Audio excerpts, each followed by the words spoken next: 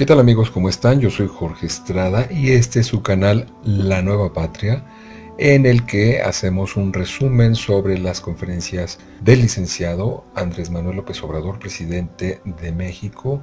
Y bueno, hoy como todos los días, pues vamos a hacer una extracción de lo que se generó, de las notas que se generaron a través de la Mayanera.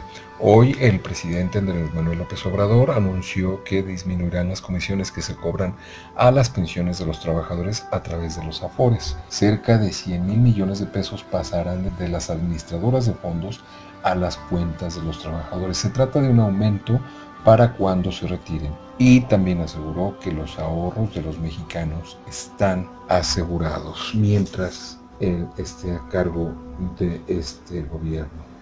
También se le preguntó sobre los hechos ocurridos en Coatzacoalcos, Veracruz.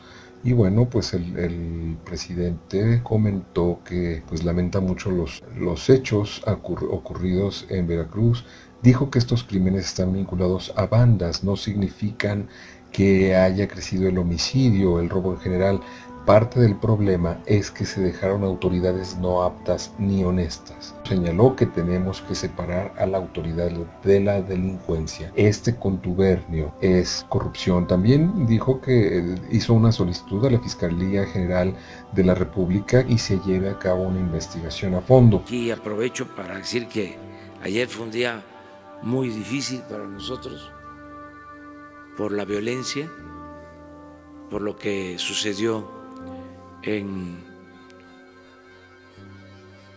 Coatzacoalcos, em, ahí en un centro recreativo, em, llegaron delincuentes, em, cerraron las puertas de salida de emergencia y eh, incendiaron el lugar. Y es muy lamentable, llena de tristeza el que hayan perdido la vida hasta ahora a 25 personas, hombres y mujeres. Muy triste todo esto. Y en las primeras investigaciones estamos este, contando con información de que los posibles responsables ya habían, eh, ya habían sido detenidos y se les dejó en libertad. Ahí hay un problema eh, que tiene que eh, investigarse sobre la actuación de la Fiscalía en Veracruz. Y estamos eh, pidiendo al fiscal general que se atraiga este asunto, este lamentable hecho, y que se lleve a cabo una investigación a fondo, porque son dos cosas. Una, eh, lamentable que la delincuencia organizada actúe de esta manera. Es lo más inhumano que puede haber el actuar de esta forma.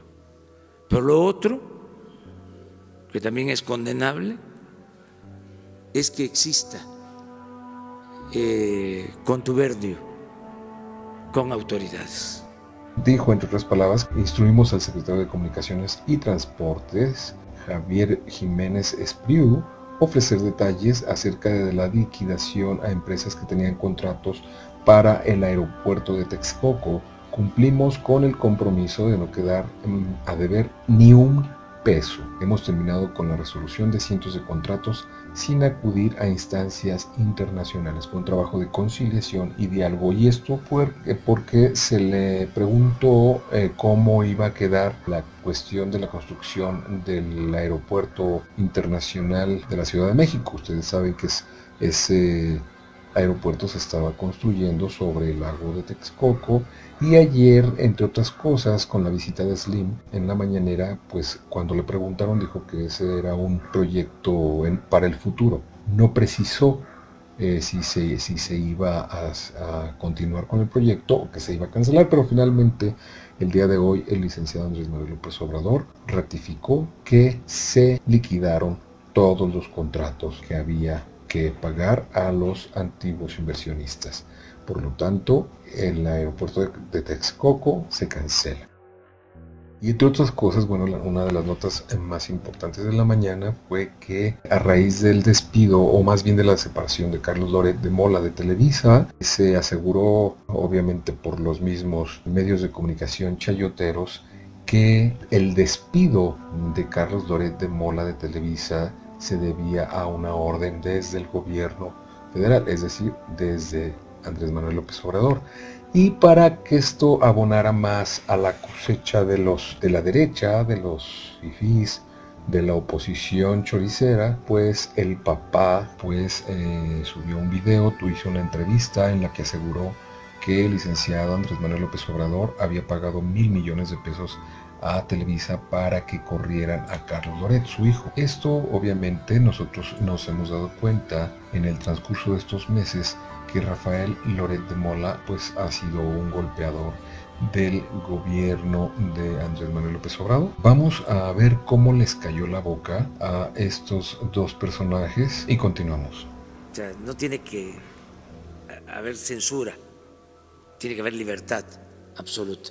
Aquí también aprovecho porque tengo que ir este, contestando. ¿eh? Es mi oportunidad.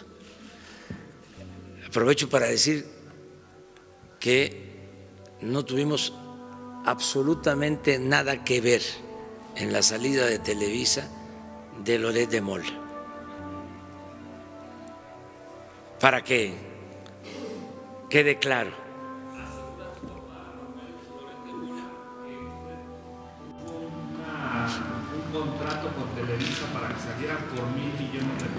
No es cierto. este, lo quiero dejar así de manifiesto. Nosotros nunca eh, le hemos pedido a un director de un periódico, al dueño de una estación de radio, de televisión, que censure a un periodista. No solo eso, ni siquiera este, le hemos pedido, como se dice coloquialmente, frías a nadie en medios de comunicación. Porque también se puede dar el caso de que vengan a vender favores. Lo que diga mi dedito. Nada. Este, que quede esto eh, totalmente claro. No somos iguales. Nosotros tenemos principios, tenemos ideales. Y lo que estimamos más importante en nuestra vida es la honestidad. Si hay algo que el gobierno del licenciado Andrés Manuel López Obrador ha garantizado dentro de su gobierno es la libre expresión, y más tratándose de periodistas. Entonces, este señor Rafael Loret, pues de un tiempo para acá ha estado golpeando al presidente Andrés Manuel López Obrador. Si ustedes recuerdan, el señor Rafael Loret em, abrió un, canal de YouTube hablando pestes de los gobiernos anteriores, de los gobiernos de Enrique Peña Nieto, pero era lo mismo que defendía a su hijo. ¿Qué fue lo que pasó? Congregaron muy buen número de seguidores de su canal hablándoles eh, maravillas de Andrés Manuel, pero eh, en, su táctica era obviamente pues ganar adeptos para luego desacreditarlo frente a los seguidores, a los, a los que apoyamos la cuarta transformación y apoyamos el gobierno y las decisiones que ha estado tomando Andrés Manuel López Obrador. Entonces, eh, hace unos meses, pues empezó a despotricar y responsabilizar a Andrés Manuel López Obrador, que si su vida corrió peligro, que si hubo, ah, hubiera un atentado contra su persona, lo responsabilizaba él de lo que pasara. Y ahora que pasa esto sobre su hijo, pues también se lanza despotricando contra el presidente de México. Pero bueno, la gente ya no está dormida. Afortunadamente cada vez va despertando más y se va dando cuenta cuál es la calidad de cada uno de los personajes de la vida pública de este país. Pues se ha ganado el desprecio de miles de personas. Pues con esto lo enterraron tanto como periodista como personaje de YouTube. Bueno amigos, pues esto ha sido todo por el día de hoy. Mi nombre es Jorge Estrada. No olviden suscribirse a mi canal. Les pido por favor que se suscriban, apóyenme en este canal para que podamos seguir informándoles. Eh, suscríbanse y activen la campanita de notificaciones para que se den cuenta cuando el video está listo. Por lo regular a más tardar a las 9 de la noche, 9 y media está su resumen. Y este resumen pues está hecho para la gente que no tiene el tiempo suficiente para estar en la mañana presente durante la transmisión de la conferencia matutina del presidente de México. Así que yo lo hago con mucho gusto, les traigo un extracto y bueno, espero que me sigan apoyando, los espero aquí. Muchas gracias, les repito, mi nombre es Jorge Estrada, me pueden encontrar en Twitter con el mismo nombre y que tengan una excelente noche. Hasta pronto.